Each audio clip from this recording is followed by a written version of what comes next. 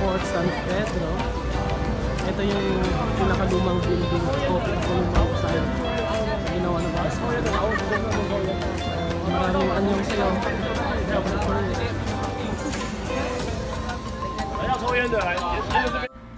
Unang kita ko pa lang sa gusali ng Fort de San Pedro ay sobrang napamanghanaho nito.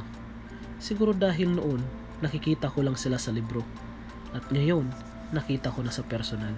Tulad ng mga paintings na ito, dito makikita at matutuklasan ang kwento ng mga unang kastilang dumaong dito sa Cebu City.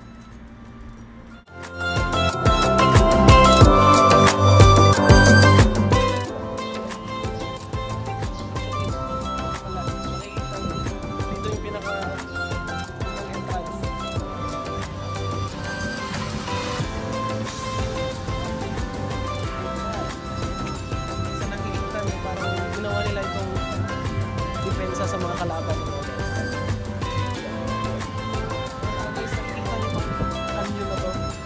ito ginamit nila noon para ah, protektahan yung area dito sa Cebu. Ah, ngayon pasok dito sa may Bien de, del Tiniente.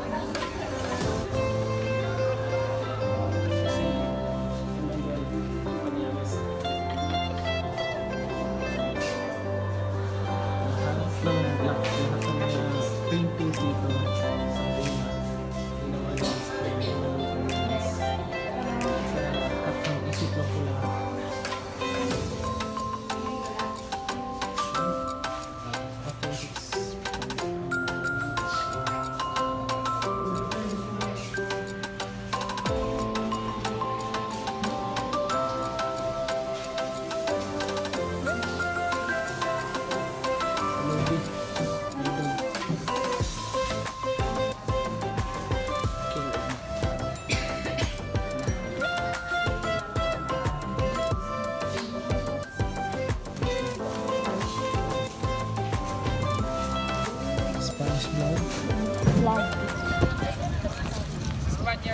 now we are here at the Magellan's Cross.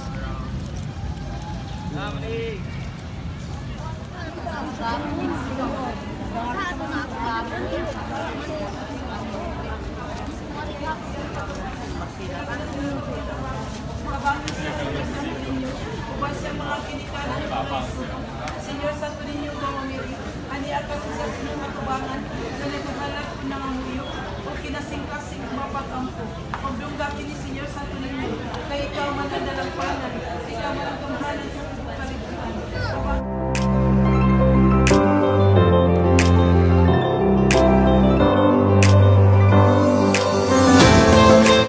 Good evening. We are here at Sugbo Mercado, Cebu. Oh, very nice place. So kung nasa Cebu kayo, gusto niyo kumain ng marami, punta kayo dito sa Sugbo Mercado. I will show you guys what I'm talking about.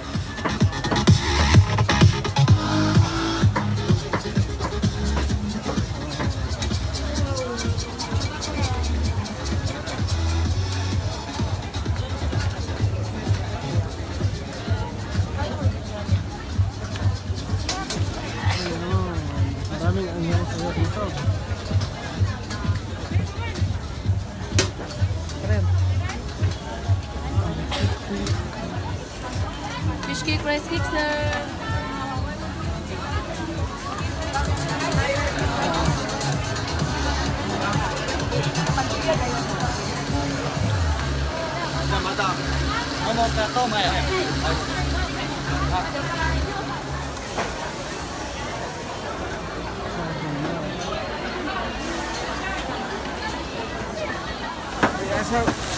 Ano magbayad?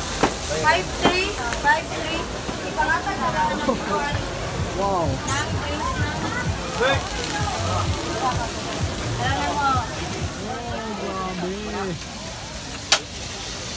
Ayan oh. 8 pesos or 10. Parang uh, 10 pesos. I want that one. Kanan sa mga garili na attract tayo ang tungod sa ilahang food. Look at yan.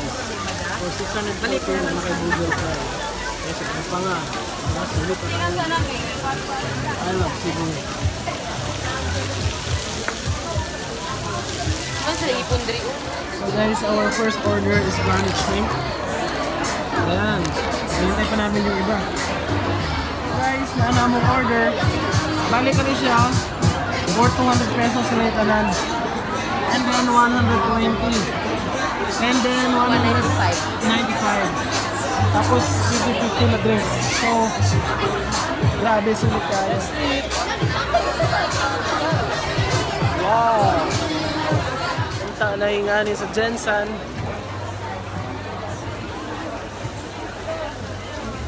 Yeah. The best in Cebu.